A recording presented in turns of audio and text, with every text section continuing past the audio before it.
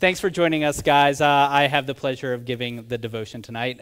I hope you enjoyed the activity. Uh, I actually did it um, in something called the leadership cohort uh, with the CCO when all, a bunch of CCO staff got together and, and we did that. And it was just a wonderful experience to me, so I wanted to share it with you. So you got to make some bread, um, or at least braid some bread. Um, bread is a universal food, right? You can go anywhere within this world and you can find some sort of bread. You go to Ireland, you get Irish soda bread, right? I'm Irish, so that's the first one I mentioned. You go to India, you get naan. You go to Mexico, you get tortillas, right? You go to Germany, you get pumpernickel. You go to America, you get white bread, white bread, uh, gluten free bread, Pop Tarts, I don't know. Um, and, and, the reason this is, is because it's a staple part of our meal. Uh, it, it's part of our sustenance. Almost with every meal that we have, we have some sort of bread. And it's true today as it was hundreds of years ago, thousands of years ago. So the Bible actually has a lot to say about bread. There are a lot of stories about bread. Can anybody name a story in the Bible about bread without mentioning the title of my talk? Okay, that you didn't read my talk, but I'll, yes, yes. Yes, the bread of, bread of life, which I'll be talking about. manna in the desert. I'll also be talking about that. Were you going to say that, Sean? Yeah. Just say it again. Manna in the desert. Okay. um, anybody else? Loaves and fishes. I'll also be covering that. I'm covering it all. Every bread story. You guys are going to be here for like an hour. Just kidding. Last Supper, also covering that one. Dang, guys. Did you read this beforehand? Everybody, you guys read this? Okay, so bread is used um, as stories in the Bible, both uh, literally and figuratively. And tonight we're going to talk about, focus mainly on a figurative story. Um, it is the metaphor of when Jesus says that he is the bread of life. It's found in John 6, 22 through 35. We'll have it on the screen here. Would somebody out here like to read it? Go ahead. Why don't you stand up? Oh, that's too much work. You didn't know that was part of it. I'm sorry. on the next day, the crowd that remained on the other side of the sea saw that there had been only one boat there, and that Jesus had not entered the boat with his disciples. But uh, Yes, there's 35.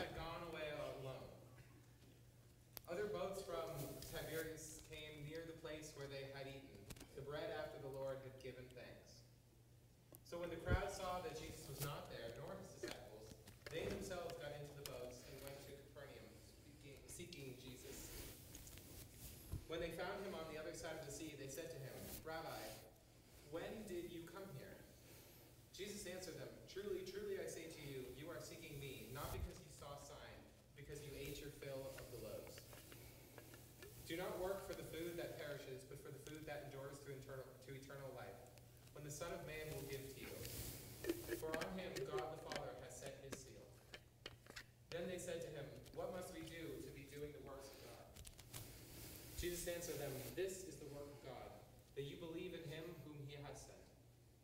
So they said to him, Then what sign do you do that we may see and believe you? What work do you perform? Our fathers ate the manna in the wilderness, as is written, He gave them bread from heaven to eat. Jesus said, Jesus then said to them, Truly, truly, I say to you, it was not Moses who gave you the bread from heaven, but my Father gives you the true bread from heaven. For the bread of God is he who comes down from heaven and gives life to the world. They said to him, Sir, give us this bread always. Jesus said to them, I am the bread of life. Whoever comes to me shall not hunger, and whoever believes in me shall never thirst. Thank you very much. Andrew, right? Yep. Andrew, right? Yes. Yes. Okay.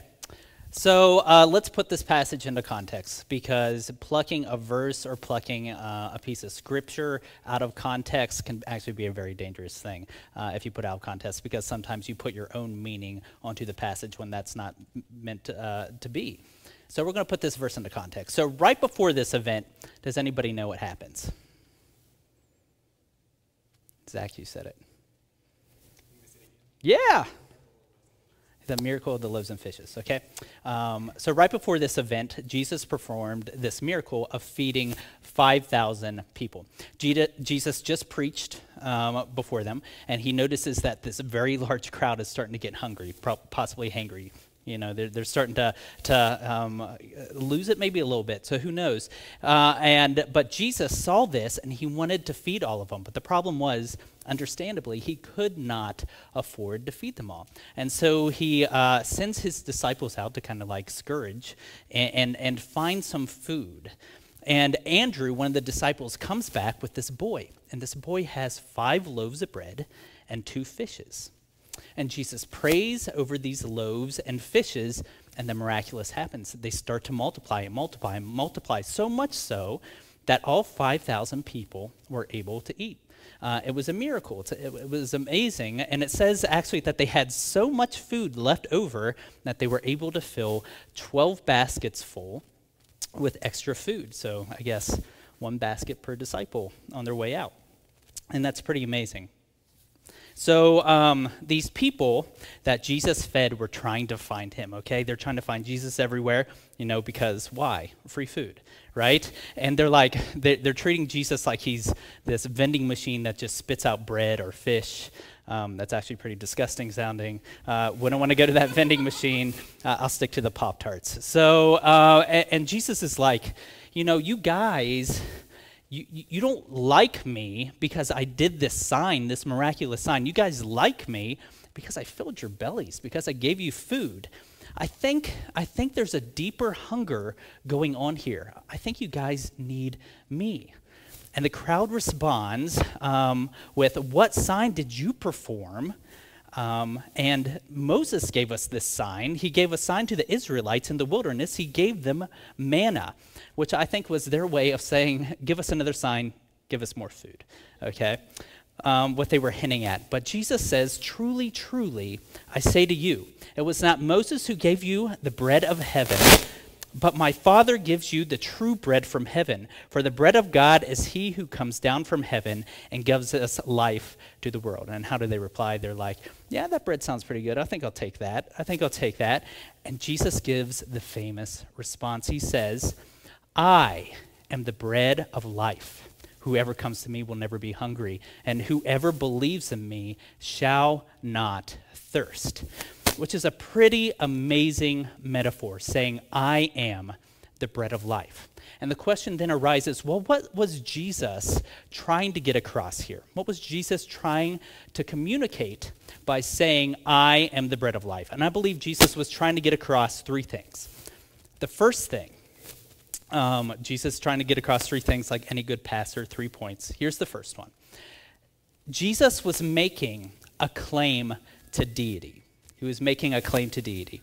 Jesus used the words, I am here. And by using the words, I am, he was giving himself a title. That title was intentional, it was deliberate. It revealed something about the character and nature of who he was, and therefore the character and nature of who God is. Okay? And this title harkens back to Exodus chapter 3 with Moses and the burning bush. Okay, so uh, Moses is out tending his flock, and he stumbles upon this bush that is on fire but is not being consumed. And then he realizes that it is God behind this fire communicating to him. So he asks him, Well, what should I call you? And God responds, I am whom I am, or we know that as Yahweh.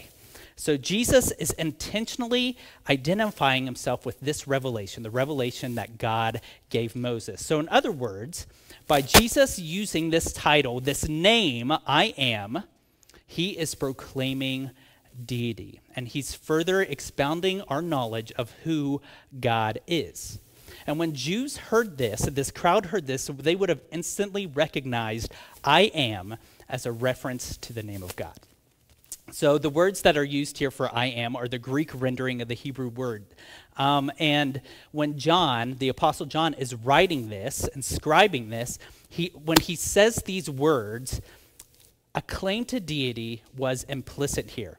The point is that this is a radical, radical claim for somebody to claim to be God. So either Jesus is off his rocker or he is who he claims to be. And this is one of the most remarkable statements in all of Scripture him taking on the name of God. It's so remarkable, he does it seven times within the book of John. They're called the I am statements. So don't let anybody ever tell you that Jesus never claimed to be God, because that is what he is doing right here, and it can't be interpreted in any other way than as a unique claim to deity. The second thing that Jesus does, he says, I am the bread of life.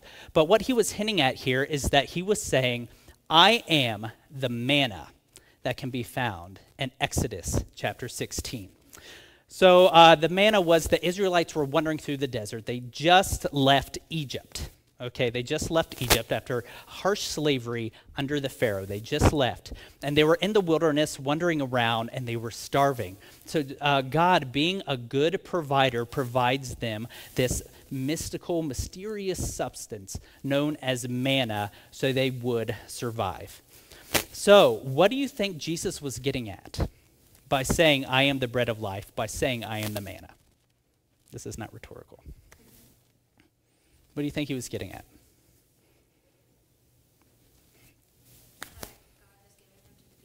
Mm-hmm. That is very true.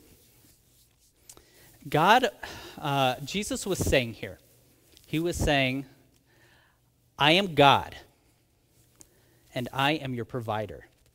I am God, and I am your sustenance. I am God, and I am your spiritual nourishment. With me, you will never be spiritually hungry. With me, you will never spiritually starve. You don't need bread whatsoever. You need me, right? Another boom. That's incredible, incredible statement. And I think the last thing that Jesus was trying to get across here was an event that would happen in the future. It was an event that would happen during Passover week, right before Jesus was betrayed by his buddy, right before he was arrested, and right before he was murdered.